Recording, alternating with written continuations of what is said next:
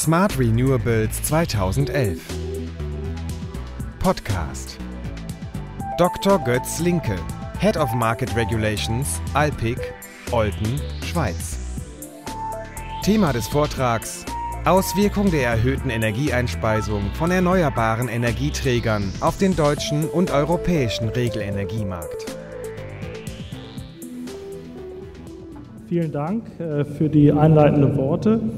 Äh, ja, in der Tat komme ich aus Ostwestfalen und äh, lebe mittlerweile im Basel-Land. Und Olten, wo die Firma ist, äh, ist vielleicht nur denjenigen bekannt, die Eisenbahn sammeln. Da ist nämlich der Schweizer Nullpunkt der Eisenbahn gelegt worden. Aber nur dazu. Ich will jetzt nicht über die Eisenbahn reden, sondern natürlich über die europäische, insbesondere die deutsche und äh, davon betroffenen ausländischen Energiemärkte durch die erhöhte Einspeisung von erneuerbaren Energieträgern. Der Titel ist etwas kompliziert, ich versuche ihn etwas näher zu bringen.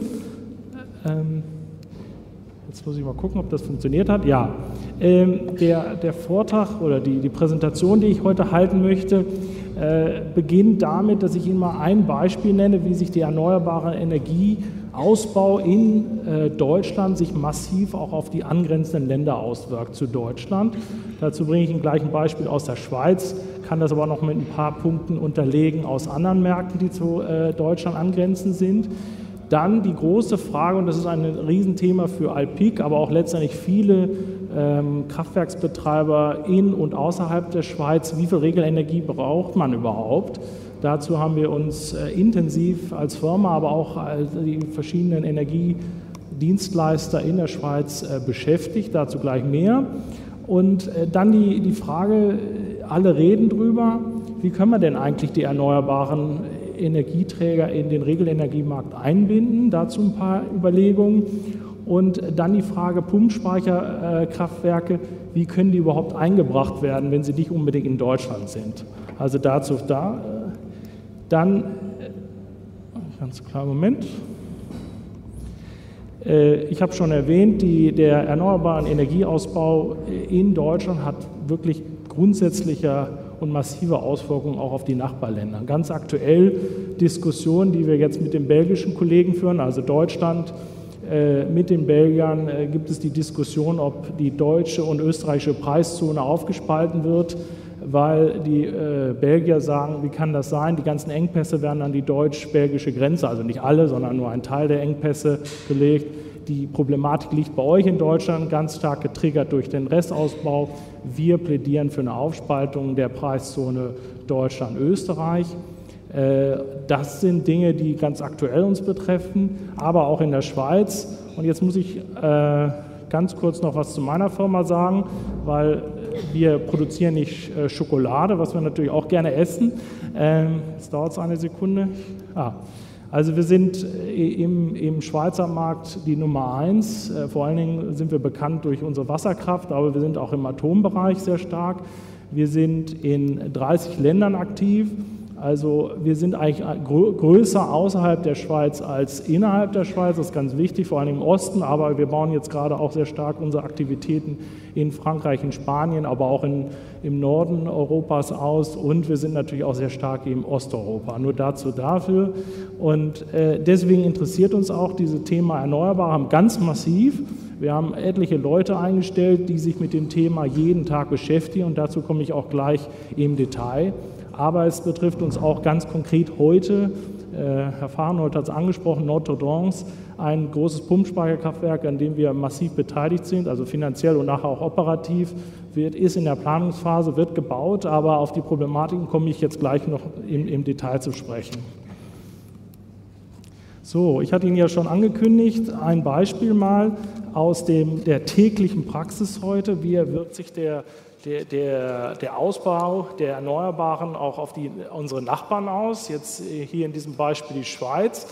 Äh, unser Netzbetreiber Swissgrid, äh, also der Höchstspannungsnetz betreibt, äh, kommt massiv in Bedrohung, vor allen Dingen bei hohem Windaufkommen im Norden Deutschland.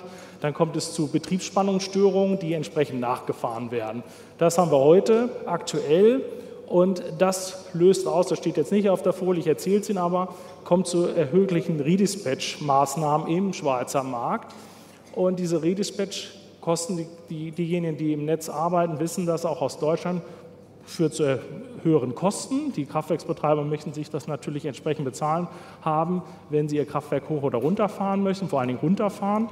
Und äh, jetzt führen wir aktuell massive Diskussionen mit unseren Regulierungsbehörden und auch den Ministerien, weil die Redispatch-Kosten auf zwei Millionen Schweizer Franken gedeckelt werden sollen pro Jahr, was wirklich gar nichts ist. Vielleicht heute reicht das noch, aber die, die Ausbauszenarien, die wir jetzt im Erneuerbaren und in dem mangelnden Netzausbau sehen, äh, werden diese zwei Millionen Schweizer Franken nicht reichen. Wir haben uns auch geweigert, diese Kraftwerksvereinbarung, die jetzt durch Swissgrid bzw. Regulierungsbehörde äh, die zu unterschreiben. Und es wird definitiv zu einer Verfügung, aber auch zu Klagen kommen in dem Bereich. Und das hängt unmittelbar mit dem erneuerbaren Energieausbau.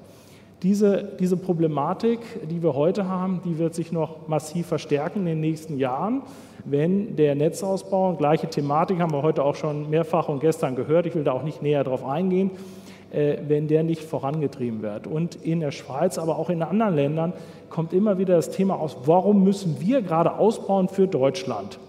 Das, also, da ist ein riesen Überzeugungssache. Einer meiner Aufgaben ist, mit der Swissgrid und auch mit den Behörden zu reden und denen klarzumachen, es geht hier auch um die Versorgungssicherheit der Schweiz.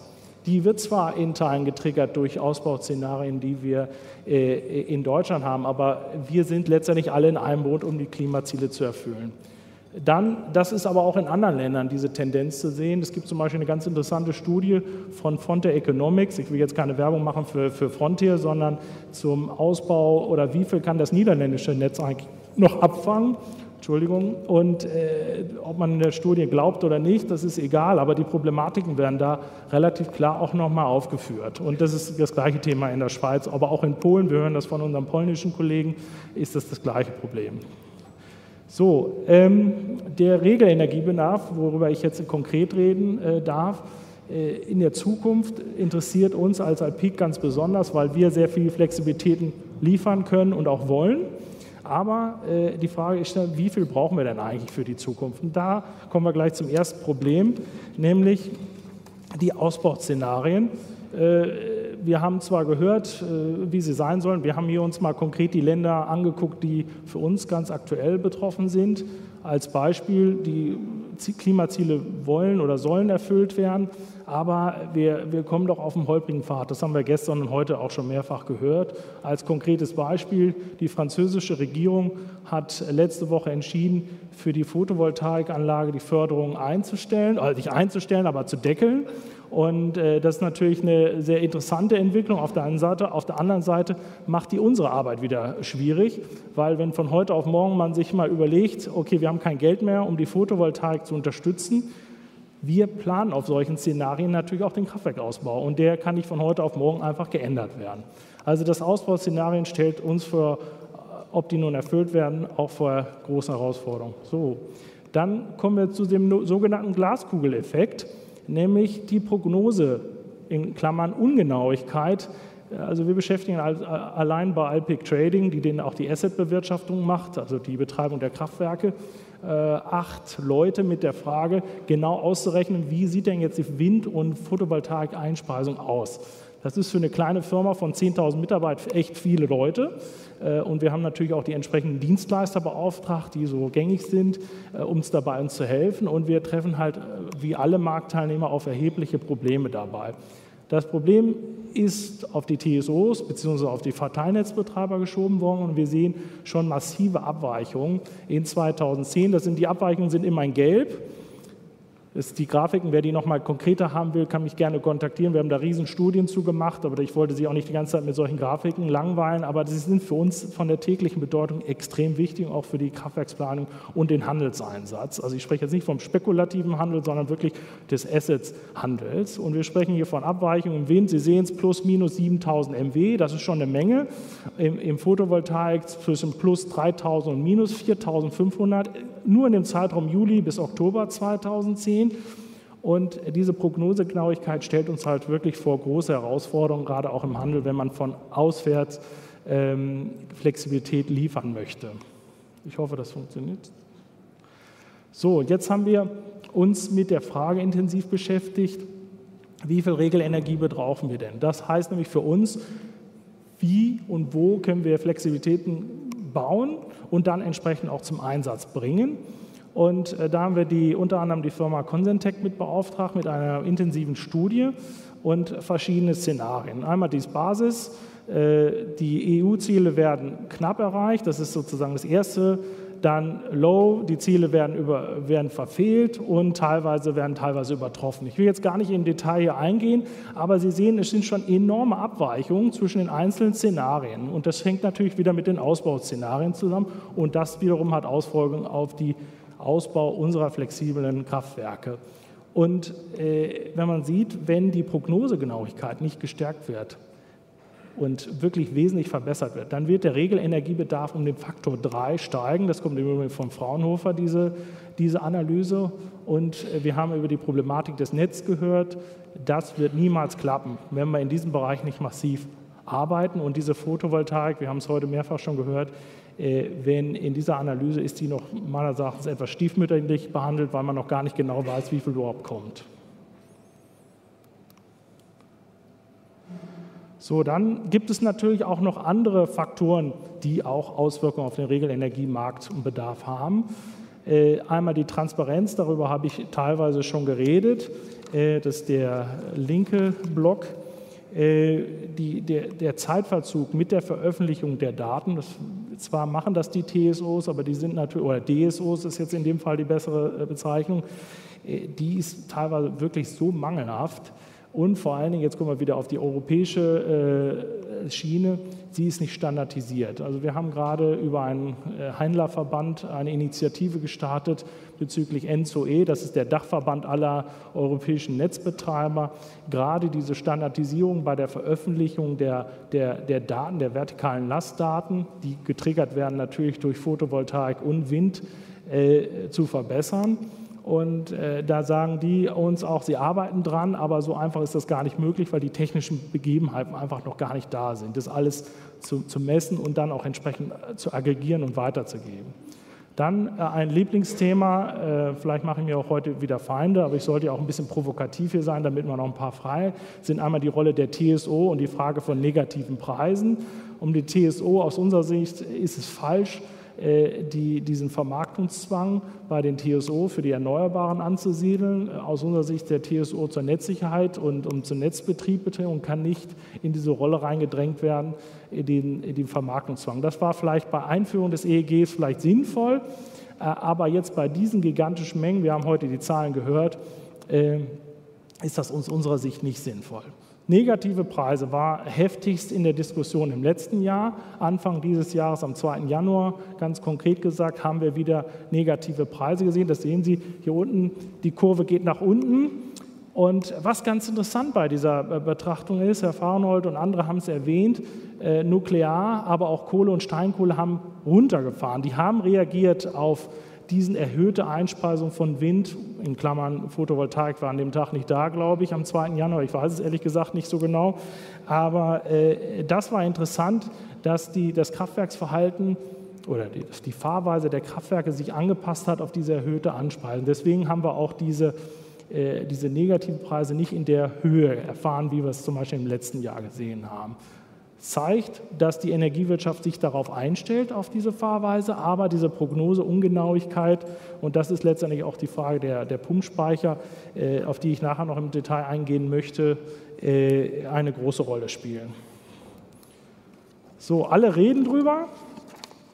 Änderung der EEG-Förderung, Einbindung von e-, erneuerbaren Energieträgern sozusagen in den Regelenergiemarkt. Ich war persönlich gestern überrascht, aber vielleicht bin ich auch zu selten in Berlin, um sowas zu erfahren, dass Frau Nestle von den Grünen selbst gesagt hat, äh, die Erneuerbaren sind in den Regelenergiemarkt einzubinden. Punkt. So habe ich sie verstanden, aber wenn das jemand anders verstanden hat, möchte ich gerne belehrt werden. Das war für mich persönlich eine große Überraschung, aber wie gesagt, äh, vielleicht bin ich auch zu, zu wenig in Deutschland, um das mitzugerichtet.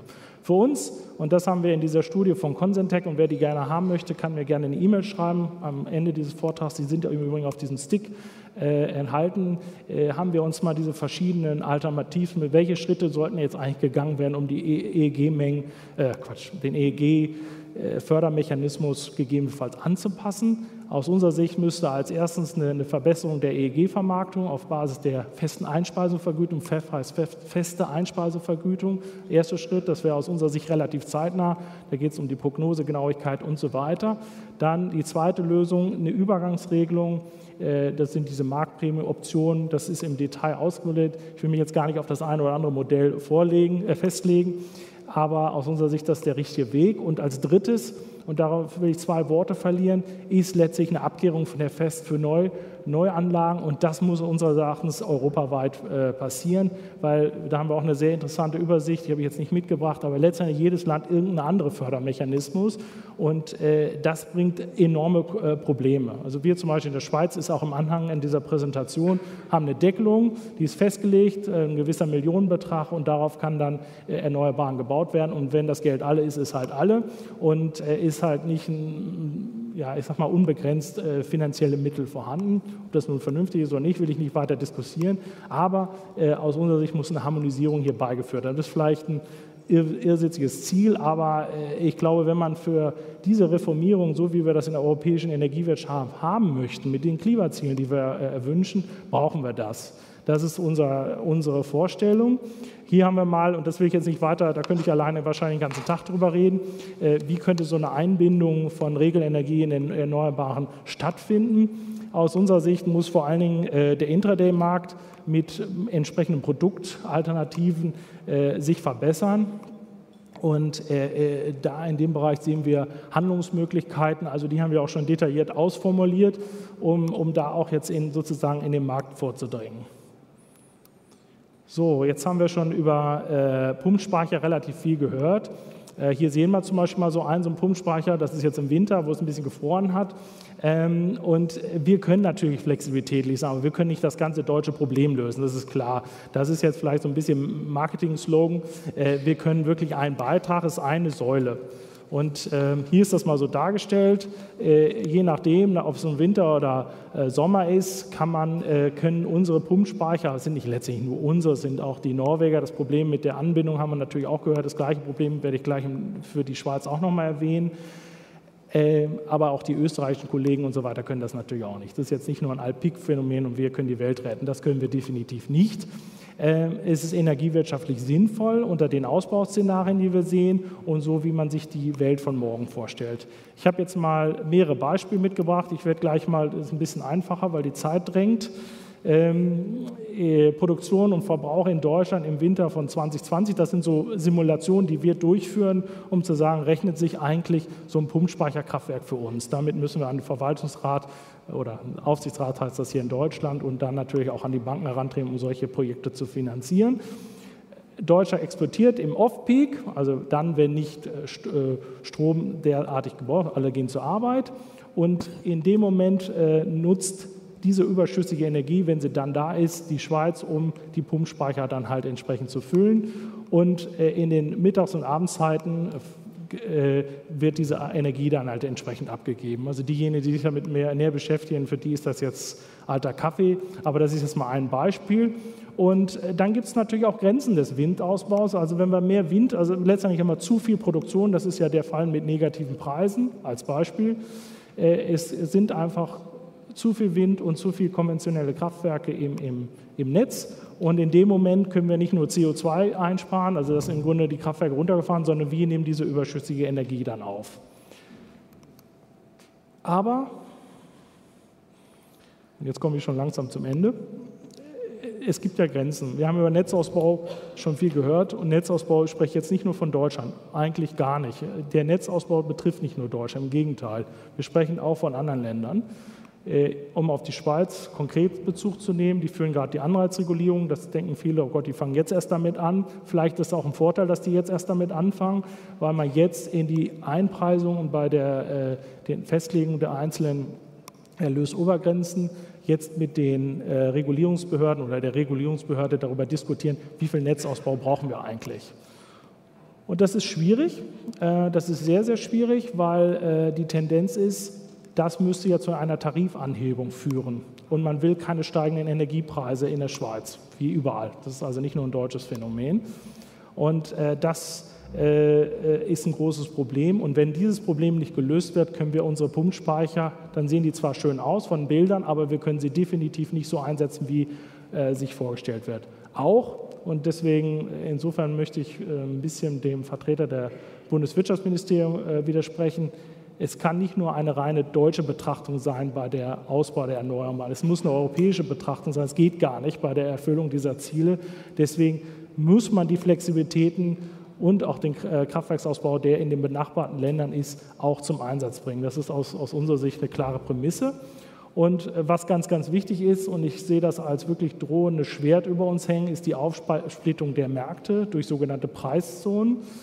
Und das ist ganz aktuell die Diskussion geführt. Wir haben es heute von dem Vertreter auch von äh, Vattenfall gehört, die DSO-Netze, wie die geplant sind und auch, dass die deutsche Wiedervereinigung zumindest im Netzbereich auch noch nicht teilweise geklappt ist. Und äh, diese, wenn diese Engpasssituation im Netz nicht wirklich langfristig oder kurzfristig jetzt behoben wird, wird es zu einer Aufspaltung der Märkte kommen. Letztendlich der EU-Integrationsgedanke ist hier völlig in der Gefährdung. Und dann als letztes äh, Anpassung der Marktregeln, das betrifft vor allen Dingen die Regelenergie, Produktmärkte und so weiter. Das ist in dieser Studie, die wir da erstellt haben, auch ähm, erwähnt. So, ich komme zum Ende. Ich hoffe, ich bin zeitlich noch im, im Lot.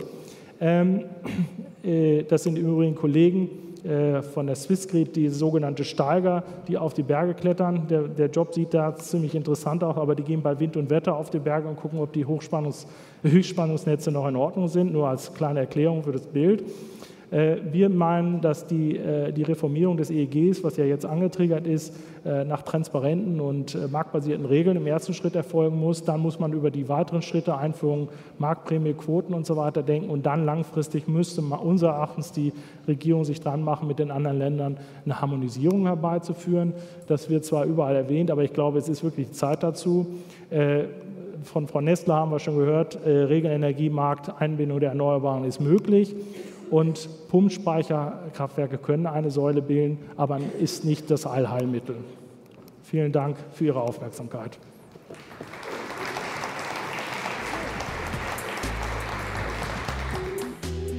Weitere Informationen und Podcasts unter www.bdew.de.